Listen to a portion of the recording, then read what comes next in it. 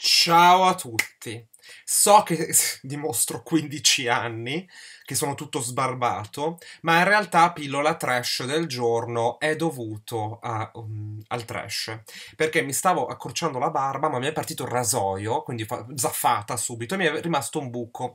Quindi ho detto togliere tutto, basta. Quindi semplicemente devo giustificare mm, come sono messo oggi.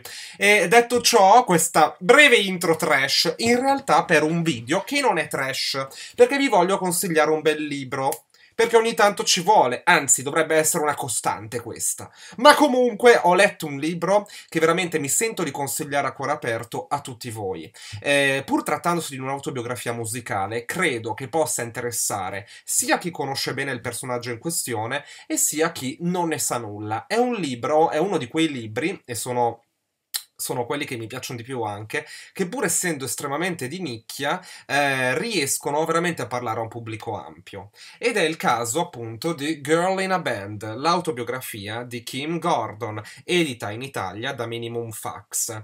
Appena ho visto questo libro in biblioteca, subito ho detto mio! Eh, nonostante avessi 250.000 libri in coda e me lo sono goduto veramente. L'ho letto in un paio di giorni, si legge che è un piacere, ha un altissimo tasso di coinvolgimento e leggendolo mi sono reso conto di quanto potesse effettivamente parlare anche a chi Kim Gordon non la conosce. Quindi state allerta perché ora ve lo racconto.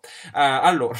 Vabbè, allora, eh, Kim Gordon è la frontwoman e bassista di uno dei gruppi più epocali della storia della musica, ovvero i Sonic Youth. I Sonic Youth, che eh, band americana che ha coniato in un certo genere in un certo senso eh, il termine o comunque il sound di uno dei sottogeneri del rock, ovvero il noise rock. Eh, quindi melodie riconoscibili, ma allo stesso tempo grandissima attenzione alla sperimentazione e ai feedback, a riff belli possenti, aggressivi, selvaggi, senza alcun uh, timore di um, in, iniziare a far rumore, cioè senza nessun timore di non essere orecchiabili, ma di invece puntare dritti a un rumore assordante e feroce soprattutto. I Sonic Youth tra l'altro nascono negli anni Ottanta, che è il periodo in cui il synth pop, il dance pop andavano per la maggiore. C'erano addirittura critici musicali che giudicavano eh, morto il rock and roll, per esempio.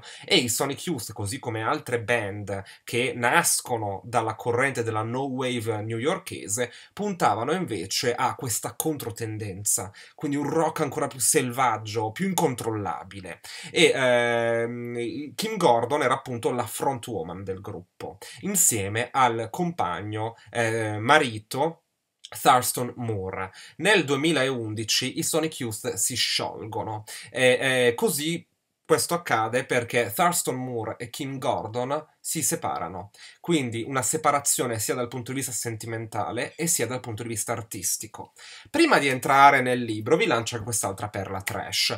Se avete visto le mie recensioni, le mie autostruncature di Bad Taste, ovvero la saga trash horror di Matteo Fumagalli, vi, ricorder- vi ricorderete della girl band Evil. Bene, le Evil, scritto Evil, quindi Love al contrario, in realtà sono un omaggio ai Sonic Youth, perché il mio album preferito preferito di Sonic Youth insieme a Daydream Nation è Evil, appunto. Quindi era un omaggio all'epoca perché Sonic Youth sono stati un pilastro nella mia formazione eh, musicale, se vogliamo. Uno dei gruppi che ho sentito di più in assoluto e che eh, leggendo questo libro sono tornato a rispolverare la, disco- la loro discografia tornando sedicenne alternativo Trasgri e quindi ho adorato. Ma Kim Gordon in realtà è una personalità realmente affascinante ed è stato bellissimo leggere questa biografia. Perché? Perché molto spesso eh, lei è stata dipinta come un'icona eh, anche di stile eh, alternative rock femminile. Eh, sempre stata vista come gelida, algida, fredda, ehm, piuttosto misteriosa. E leggere in un certo senso questo libro dove invece lei si lascia si lascia andare, racconta se stessa e soprattutto si sofferma sulle sue vulnerabilità, sul suo dolore, le sue sofferenze, la sua intimità, è stato molto interessante perché lei ha questo modo di raccontare i suoi lati più vulnerabili con una forza incredibile ed è questo che la rende veramente una persona estremamente bella e interessante, almeno a conoscerla attraverso questo libro. È un libro dove lei racconta sì la sua vita, partendo dall'infanzia, soffermandosi naturalmente agli anni dei Sonic Youth, decenni di carriera, eh, raccontando eh, come nascevano i loro dischi, eh, le loro canzoni, tutto il background che c'era dietro, per arrivare poi alla gravidanza, quindi alla nascita della figlia Coco e infine alla, alla fine di un amore. La fine di un amore e di una storia eh, di una storia della sua carriera, ovvero i Sonic Youth, e ha in un certo senso anche la volontà di proseguire oltre. Eh, quando si lasciano eh, Kim Gordon e Thurston Moore per i media è uno shock. Nel senso che è anche particolare questa cosa perché è vero che Sonic Youth sono una band molto molto famosa ma allo stesso tempo sono estremamente underground. Eh, quindi eh, il fatto che loro due abbiano lasciato un'impronta così forte anche non dal punto di vista musicale ma dal punto di vista di significato simbolico eh, del loro rapporto. È interessante perché per anni loro sono stati visti come la coppia eh, di rockstar super innamorate, super affiatate e poi in un certo senso erano simboliche anche da quel punto di vista, cioè l'amore che dura.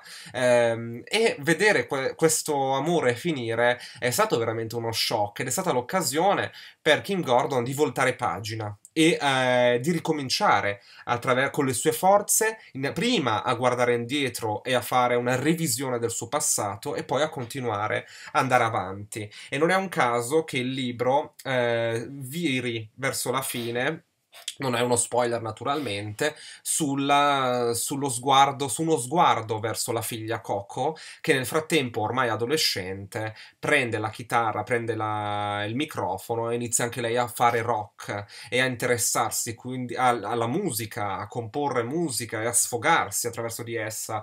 Quindi in un certo senso c'è questo bellissimo eh, sguardo di Kim Gordon madre verso la figlia e un nuovo capitolo che si apre. Kim Gordon qui diciamo che si racconta sotto più punti di vista, dal punto di vista di donna, dal punto di vista di musicista e artista, dal punto di vista di madre, dal punto di vista di essere umano effettivamente. Ed è estremamente forte. Eh, uno dei grandi temi, sin dal titolo, è il suo essere donna. Eh, girl in a band. Lei è l'unica donna eh, dei Sonic Youth, eh, membro dei Sonic Youth, ma allo stesso tempo è la leader insieme appunto a Thurston. Eh, molto spesso le è stata posta questa domanda nelle interviste che lei irritava non poco e la imbarazzava e non capiva perché le venisse fatta. Come ci si sente ad essere una donna del rock? E eh, la stessa domanda le veniva posta in modo leggermente diverso una volta che ha dato alla luce la figlia Coco. Come ci si sente ad essere ma- una mamma del rock? Ed è una cosa che lei non, eh, non capiva e che, a cui rispondeva sempre con la risposta più banale, ma allo stesso tempo che lei sentiva come l'unica da fare. Sono una donna come le altre, semplicemente ho un lavoro di un certo tipo, cioè non è una domanda che capisco. Allo stesso modo dovresti porre una domanda a una rockstar maschile e chiedergli come ci si sente ad essere un eh, un, un, uomo del rock. Eh, solo che da un certo punto di vista lei fa anche una riflessione sull'essere un genitore rock. Quindi molto spesso il padre rockstar viene visto come il padre fico e il padre yeah e la madre rockstar invece è un po' diversa, viene vista sotto altre luci. Lei parla molto spesso, fa delle riflessioni su come si sentiva, come veniva rappresentata, ma anche come lei stessa voleva essere rappresentata nel corso della sua carriera. Fa facendo delle riflessioni proprio a carattere femminile su che cosa significhi essere una donna, la donna di una band, eh, perché comunque quello che emerge e quello che è, è, mm, è sempre emerso e emerge tuttora, tra l'altro è che nonostante eh, che Kim Gordon comunque ha avuto effettivamente difficoltà con la sua rappresentazione perché il mondo della musica, soprattutto la musica rock, è un mondo dove attraversato da una sottile misoginia, dove sembra essere dominato effettivamente dal mondo maschile. Eh, lei fa riflessioni sulla rappresentazione femminile nella musica, parla delle Spice Girls, che sono un gruppo girl power però nato da discografici uomini che le rappresentano secondo varie eh, personalità ben definite, a rappresentare modelli di donna diversi. Kim Gordon per arrivare ad essere effettivamente se stessa ci ha messo tanto, nonostante sia una donna forte, anticonformista, eh, temeva di apparire troppo femminile per essere catalogata in un determinato modo ehm, eh,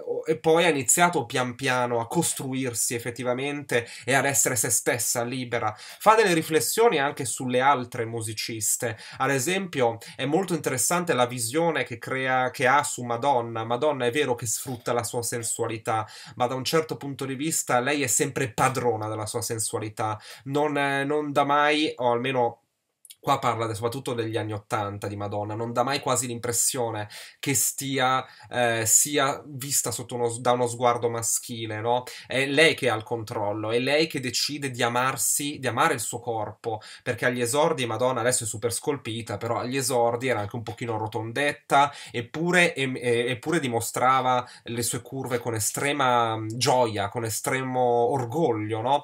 E, ed era sfacciata, ed era rock in quel senso anche. Eh, lei fa riflessioni anche, eh, lei lancia delle shade a Lana Del Rey, tra l'altro, in questo libro, quindi se vi piace Lana Del Rey preparatevi, lei la, la distrugge sostanzialmente, soprattutto sull'immagine di rappresentazione e sulla sua romanticizzazione di tutto ciò che è definito tra, trasgri del passato USA e eh, fa delle riflessioni proprio a carattere anche di rappresentazione musicale ed è una cosa che a me è piaciuta molto e che porta a riflettere perché è vero che racconta la sua sua vita, però allo stesso tempo fa un discorso attraverso se stessa veramente generale che porta a riflessioni profonde.